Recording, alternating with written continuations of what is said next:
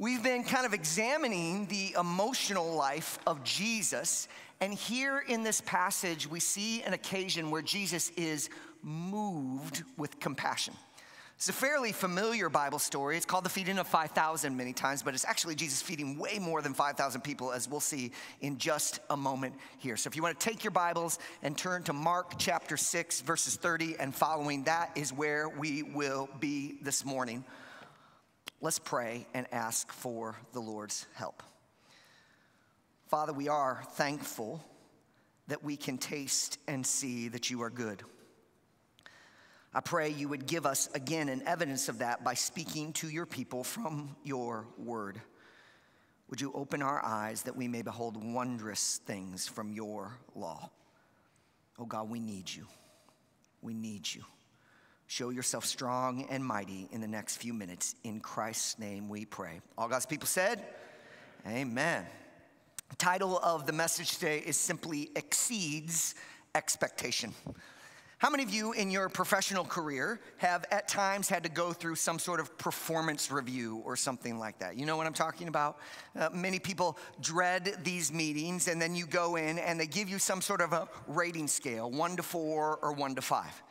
And usually on the top of that scale is somebody who the, the terminology that many companies have adopted is that they exceed expectations. If you hit that mark, you generally are in for a pay raise. Amen? Amen. You often will have new opportunities put in front of you, sometimes even a promotion on the horizon. An employee that exceeds expectation is very valuable to the organization. Well, I bring that up today because even though you may not, in your recent performance review, gotten an exceed expectation, I will tell you one person that always exceeds expectation, and that is Jesus Christ himself. And here in Mark chapter 6, he does exactly that. He doesn't just do what people expect, he does way more than people expects. And here in the feeding of the 5,000, we are blown away by Christ's ability to not just do good, but to exceed our expectations we read about Jesus in Ephesians chapter 3, verse 20, where he's actually described in this way Now, to him who is able to do, what's it say? Above and beyond all that we ask or think. In other words, no matter how high your opinion of Jesus is, you're underestimating him. It is impossible to overestimate Christ because he exceeds all expectation. This is illustrated plainly in the feeding of the multitude here in Mark chapter 6. Let me give you a little context. The story begins with Jesus' disciples returning from a ministry tour. So he has sent them out and they were serving around the area and countryside and they come back to Jesus. Mark chapter 6, verse number 30. The apostles gathered around Jesus and reported to him all that they had done and taught. So the group's excited. They're thrilled at what God is doing in and through them, and they come back to Jesus and they are just jazzed, giving him a report of all the things that they have seen with their own eyes. But Jesus, knowing their need for rest, reasonably suggests, verse number 31, come away by yourselves to a remote place and rest for a while. For many people were coming and going, and they did not even have time to eat. So they went away in a boat by themselves to a remote place. So they're getting ready to go away, getting in the boat, probably crossing the Sea of Galilee, and the retreat plans are interrupted. Look at verse number 34. But many saw them leaving and recognized them, and they ran on foot from all the towns and arrived ahead of them. I mean, can you imagine? These people were so eager and enthusiastic to hear from Jesus more that they hear that they're getting on the boat and they run around the sea and they beat him there. This must have been a slow boat, right? Just put yourself in that situation for just a moment. Jesus goes to Cozumel.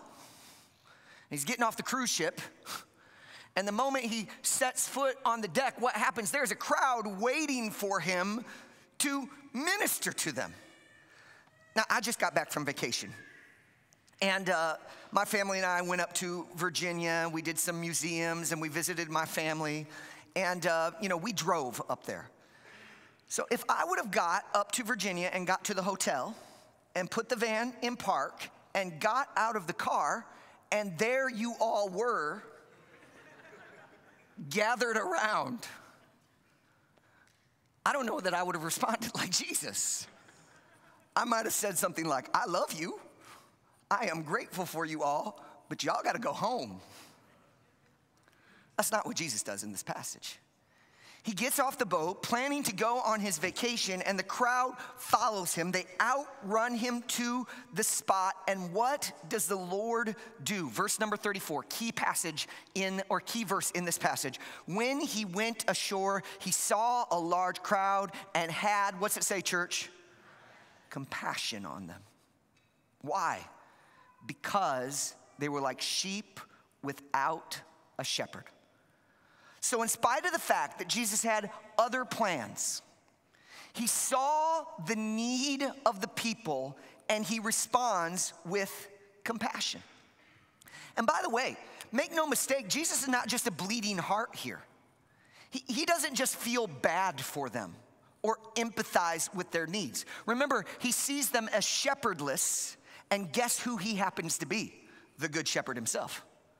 He's like, not only do I have sympathy or empathy for them, I have the ability to step in and give them what they need. They are sheep without the shepherd, and I am the best shepherd in the world. I can meet their need. Here's the reality, church, and it's a beautiful one Jesus is both compassionate and competent. Jesus doesn't just feel bad for you when you are experiencing neediness in your life. Jesus has the ability to meet your needs. He's compassionate, he feels for you, but he's also competent because he's the good shepherd himself who is able to do for his sheep exactly what they need. This was true in Mark 6 and it remains true today. Which leads me to my point this morning, which is simply this we must believe that Jesus can meet our needs. You got needs this morning? Anybody needy in the house? Okay, if you're not, you're a liar. We all got needs, right? We've got needs in spades. And we need to all come to this place where we say, we believe that the Good Shepherd can meet our needs in exactly the way that they need to be met. And I want to explore that idea for us in just a minute because remember, because Jesus is who he is, he's not able to only able to meet our needs, he's able to exceed our expectation. So I want to show you three ways, Lord willing, from this passage of scripture that Jesus meets our needs beyond our expectations. You ready for this? Okay, first thing, Jesus meets needs number 1 at times we don't expect. As we already saw in the text, this large gathering was not on Jesus' schedule. He and his disciples were trying to get away for respite. And what is more, if you look at Mark chapter 6, it seems that Jesus is encountering some emotional stress as well. Well, where do I get that? Well, if you just back up a couple of verses, it appears that John the Baptist, Jesus' cousin, friend, and probably the person who understood Jesus best in the world because God had anointed John the Baptist, has recently been executed by Herod. So Jesus finds this out. His disciples are on this tour. He's tired and he gets ready to go on this trip. Look at Mark chapter 6, verse number 12. Here's what it says So disciples went out and preached that the people should repent. They drove out many demons, anointed many sick people with oil, and healed them. So they're doing all these things, and what happens? When Herod heard of it, he said, John, the one I beheaded, has been raised from the dead. So this is probably a recent thing that's going on. So Jesus is drained, and he gets off this ship, and he's bum rushed by a crowd. I mean, put yourself in that situation. Like, Jesus is probably overwhelmed in many different ways, but he doesn't recoil. He doesn't see the people as an interruption. The very sight, the Bible says, of this shepherdless crowd moves the heart of the Savior. He looks at them and he has compassion on them, and the text tells us because they were sheep without a shepherd. This is good news because here is the implication of that reality. To Jesus, people are important, not an inconvenience.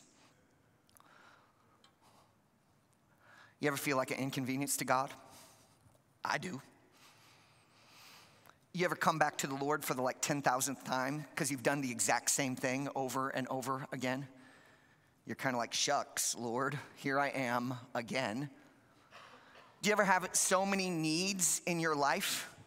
Relationships, finances, work, marriage, children, ad infinitum, sin.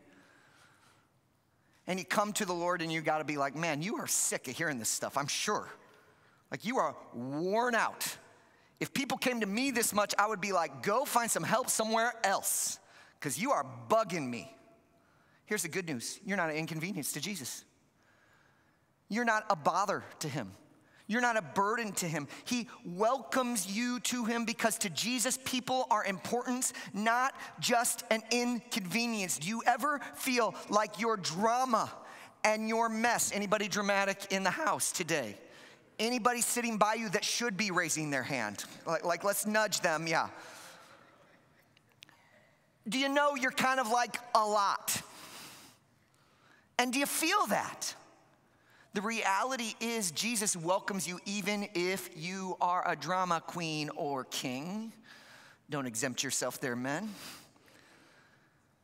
Even if you are a mess, Jesus is not put out by you. Here's the good news, church the compassion of Christ is constant, it just keeps coming. It's a well that doesn't run dry. Where do you get that? Lamentations chapter 3, verse 22 and 23. Because of the Lord's faithful love, we do not perish, for his mercies, what's it say? Never end. That's good news. They are new every morning. Great is your faithfulness, O God. Psalm 103, verse 8 The Lord is compassionate and gracious. He is slow to anger, He is abounding in faithful love. He will not always accuse or be angry forever. He has not dealt with us according to our sins deserve or repaid us according to our iniquities. That is a good word because my sins and my iniquities deserve the wrath of God and hell forever. But the Lord is compassionate and gracious, and his mercies never end. This is the character of our Savior. With all your mess and your neediness, you may often feel like an interruption, intrusion, or inconvenience. But the reality is, Jesus is never bothered by our burdens. Just bring them. He's never too busy.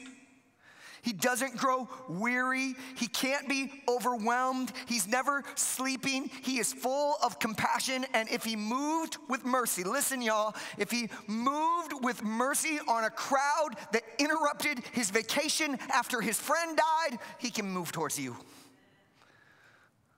Jesus meets our needs at times you don't expect. You're never an inconvenience to your heavenly Father.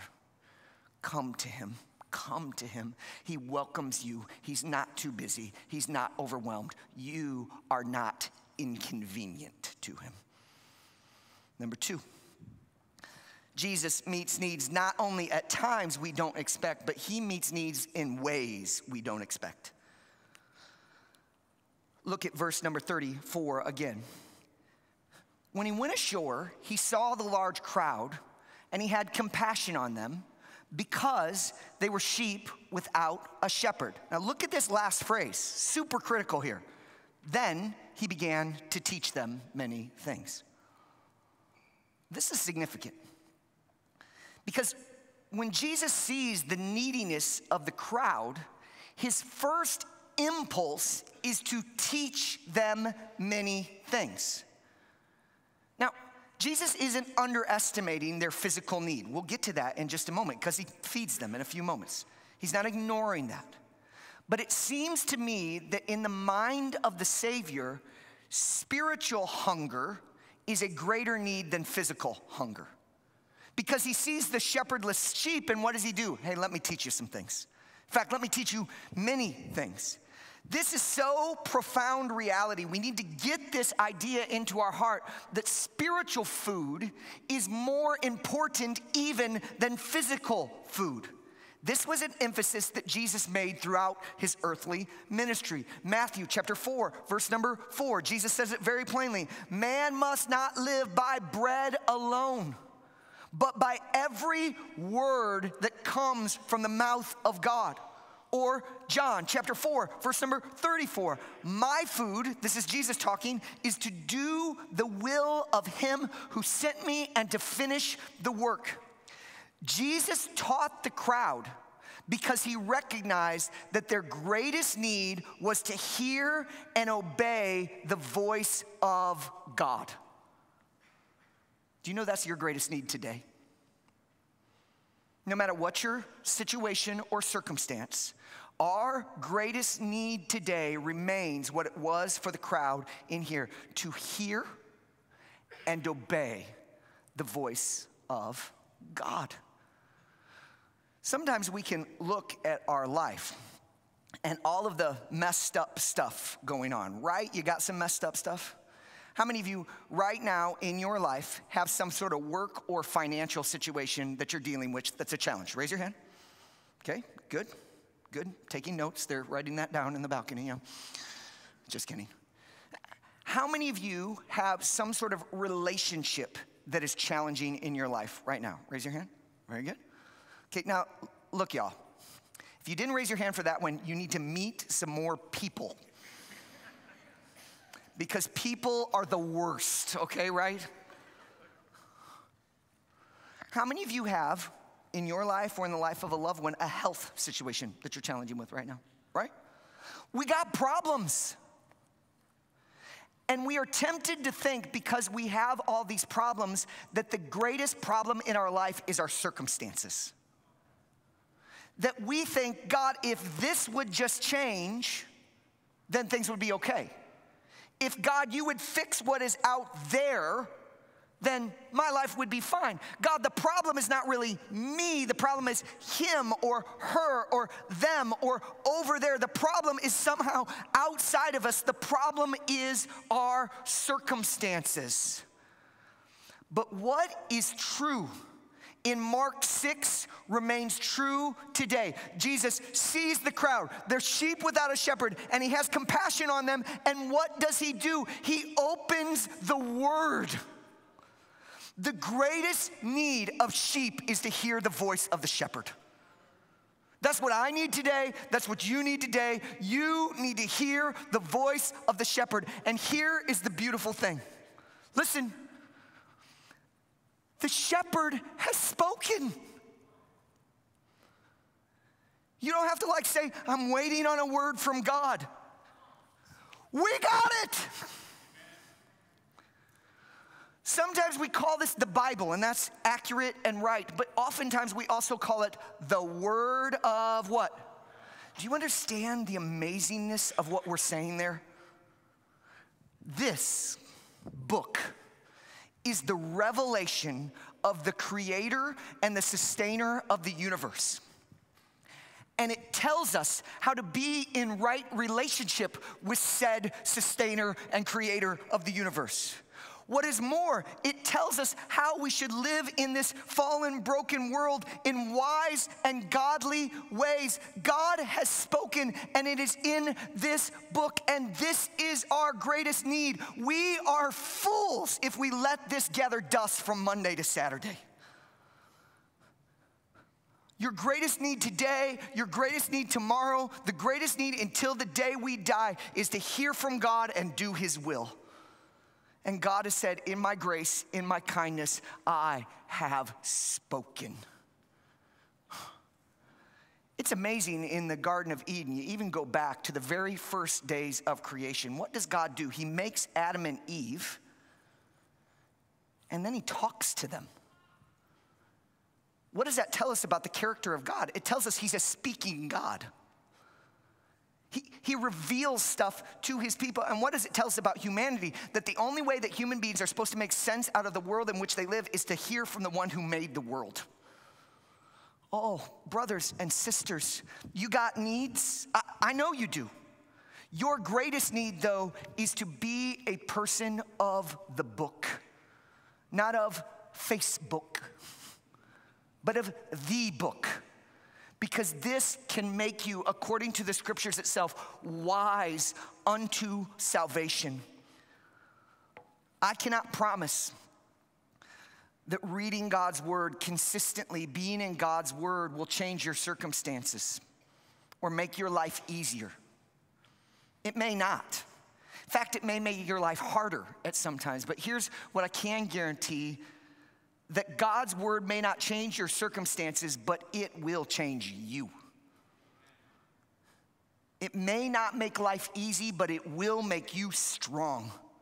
And that is why Jesus, when he saw the crowds, like sheep without a shepherd, the first thing he does is he begins to teach them many things. He meets our needs in ways that we don't expect. We don't just need empathy,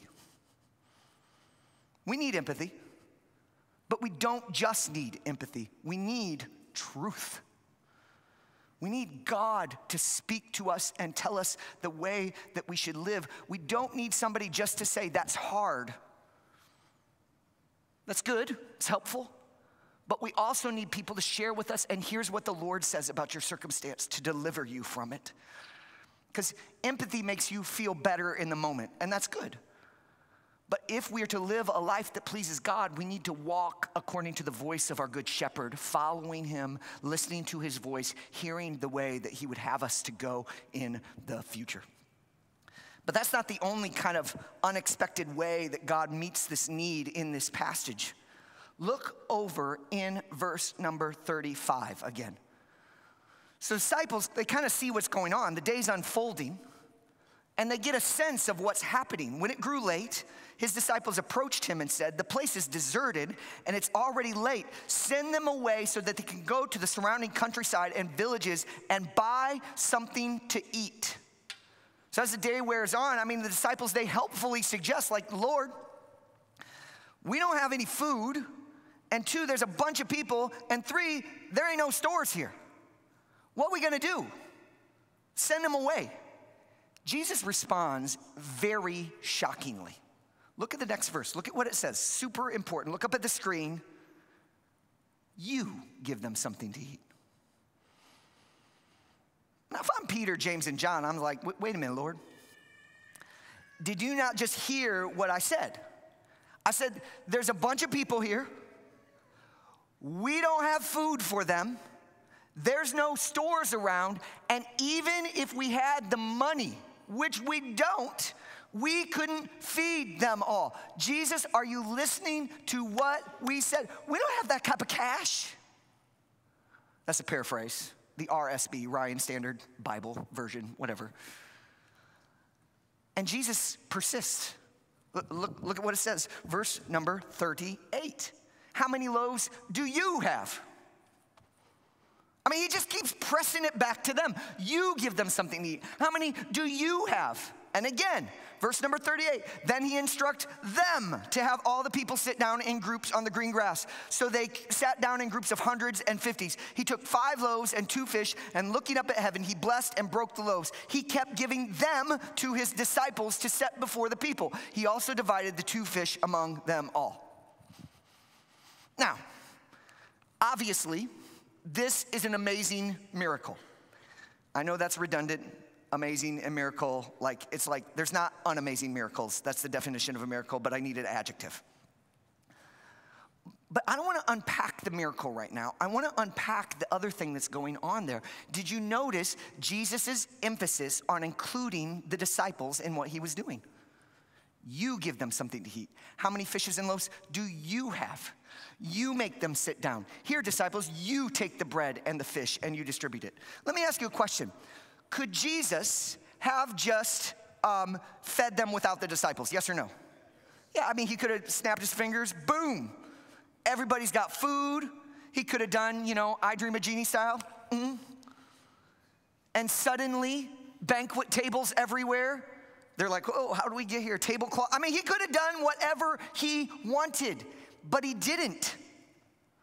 He didn't just feed them on his own. Instead, he chose by his grace to invite his disciples into the miracle of feeding the 5,000.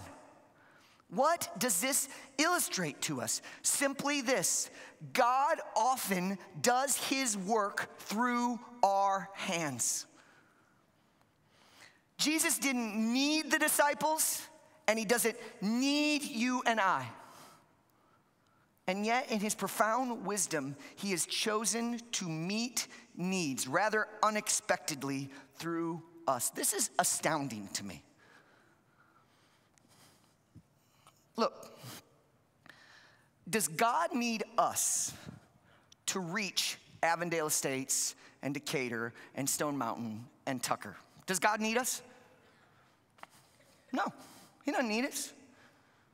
He could reach this community without us. Gospel Hope Church, by God's grace, or I'm trying to say the opposite. What I'm trying to say, I hope by God's grace, doesn't just like blow up with all of us in it. But if God did that, he wouldn't be like, dang, I don't know what to do now. He, he could do his work without us. And yet, in his wisdom, he has chosen to do his work through us. That's amazing. That's amazing that God would invite you and I into his work in the world of multiplying ministry through us. God could save your loved one without you, but he probably won't. He probably intends to do it through you. God could provide for Gospel Hope Church financially without you. But I'd sure like to be involved in what He's doing. So I want to participate in that because God takes the few loaves and the few fishes that we have in our hands and He is able to do more with them than we can expect or imagine. Remember, He exceeds expectations. God could disciple the next generation of disciple makers down in the hall at Gospel Hope Kids without you. He don't need you. But I'd sure like to get in on that action and be a disciple maker to help people take their next step because God works through his people. We need to recognize that sometimes God works in ways that we don't expect, and that means He invites us to be His hands and feet in the world. After all, one of the metaphors of the New Testament is that Christ calls us His body. In other words, He's the head, but the way that His head gets His work done is through the hand and the feet and the lungs and the appendix and the knees. We are the body of Christ in the world, the way that God gets his stuff done in the world. That's awesome. He didn't need the disciples, but he chose to use the disciples. You know, any golfers in the house this morning? Anybody golf? Okay, it's not like a sin. I'm just like asking, like anybody. Okay, we got.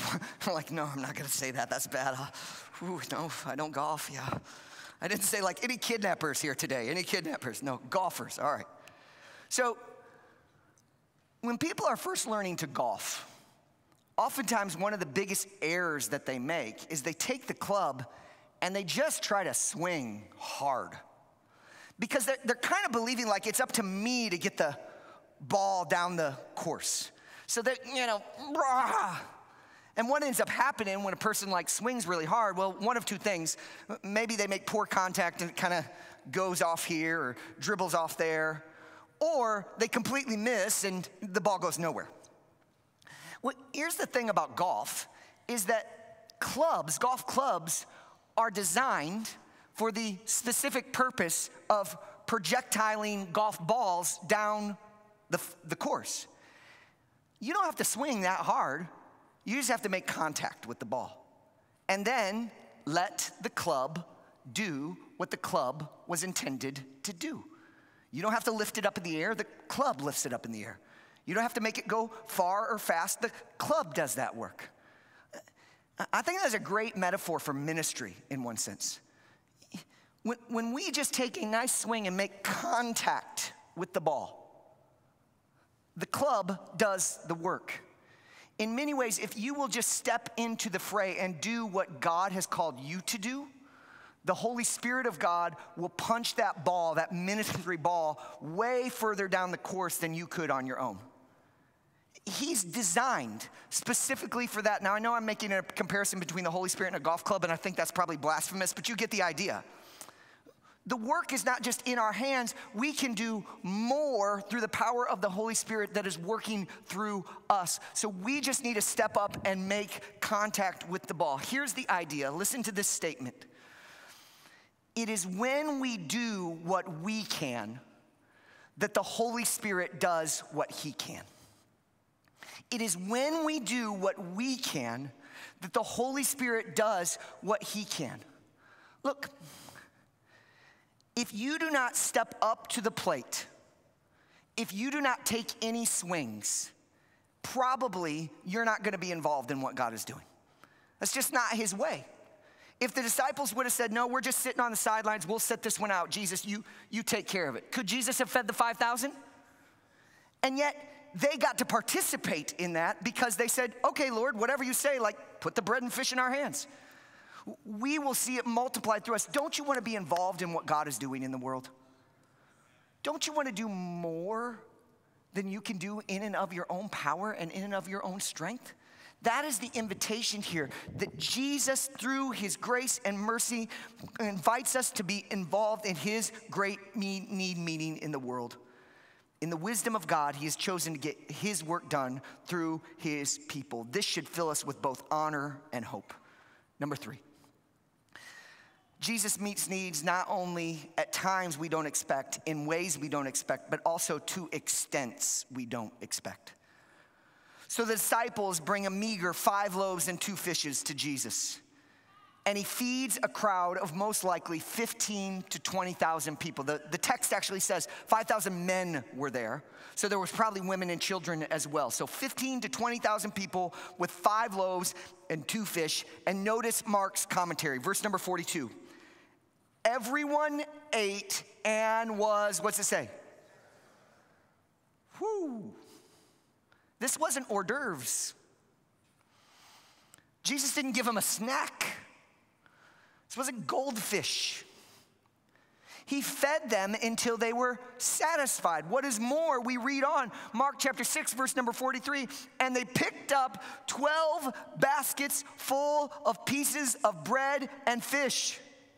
It's a southern miracle because there's leftovers, take home boxes. Jesus didn't just meet the need, he exceeded the need. He didn't just feed the multitude, he satisfied the multitude. He didn't just multiply the fish, he created 12 basketfuls of leftovers. Why? I think he's simply saying to the disciples, I got you. You guys are fretting about this, don't worry about it. Look, I can multiply stuff, just put it in my hands. The point is that when Jesus meets needs, he doesn't just meet them, he exceeds them. Sometimes we wrongly believe that Jesus or is stingy or limited in his power. Think about a need in your life right now, and maybe you're like, yeah, I just, I'm not sure God can do anything about that. I, I don't know. That person, I mean, they're just so hard. I, I don't, yeah. Lord, help, I guess.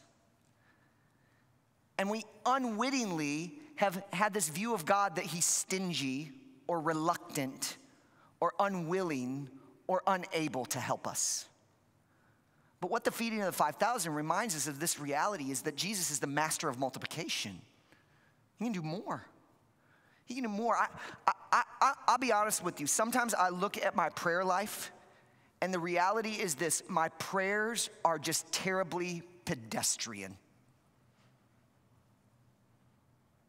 They're just, I'm just really not expecting God to do that much in my life, in our church, in our city, in our world. My prayers are pedestrian.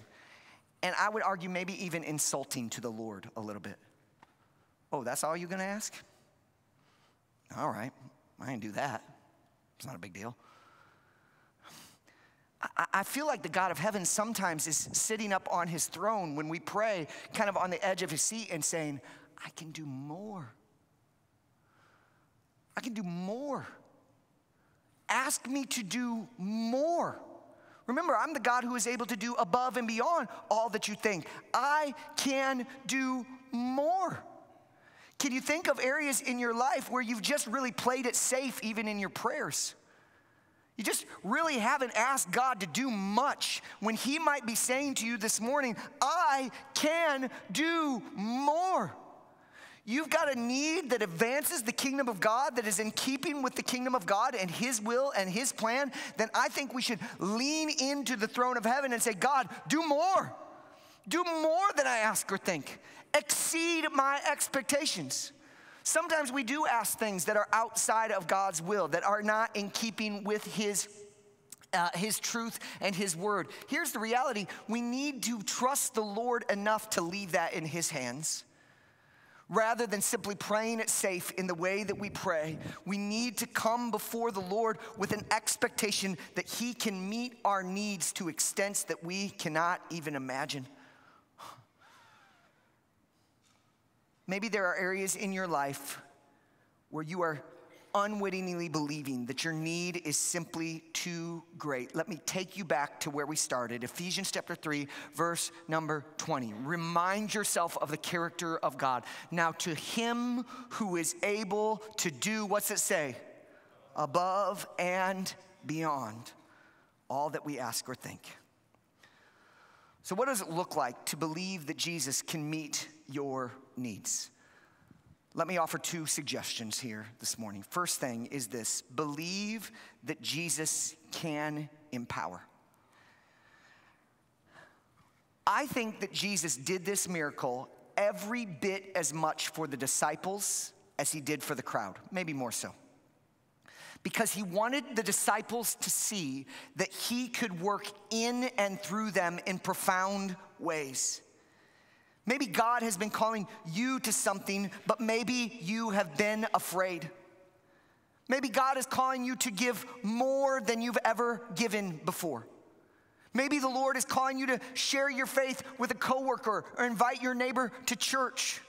Maybe God is calling you to get baptized or join the church or take a step of obedience that you haven't taken at this point yet. Maybe God is calling you to give yourself even to vocational ministry. I don't know what it is, but I want to encourage you all in this. God can empower you, He's able. You think this seems like a giant step? He's able to do it. He took five loaves and two fish and fed 20,000 people. He can meet you. Say, I don't have much to offer. Good. He doesn't need much.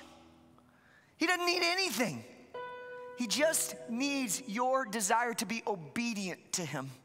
Lord, nothing in my hands I bring, simply to your cross I cling. I ain't got nothing to bring to you, but here it is. And He says, That's enough because I'm not dependent on the strength of your hands. I am dependent on the strength of mine. And I got plenty of power. So, will you believe this morning that Jesus can empower you to do things that maybe you thought you could never do before? Take a step of obedience, grow in generosity, grow in service. God, you can empower me to do that. Second thing, will you believe that Jesus can satisfy you? You know, at the end of the story, it says that he fed the crowd and they were all satisfied. I don't know the needs in your life, but this story reminds us that no matter what our needs are, Jesus is able to satisfy them. If you've made a mess of things and feel so far from the Lord, He is able to meet you and bring you home. If you feel overwhelmed by circumstances in life, Jesus is able to give you the strength to endure them.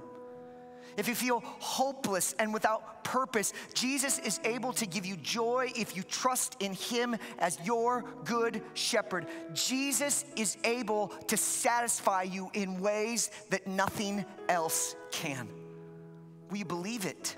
Some of you have doubted that this morning, right now, you're doubting that Jesus can really satisfy. I want to encourage you to run to him right now. I'm going to ask our prayer team if they would move to the back right now, and I'm going to invite us in just a moment to respond.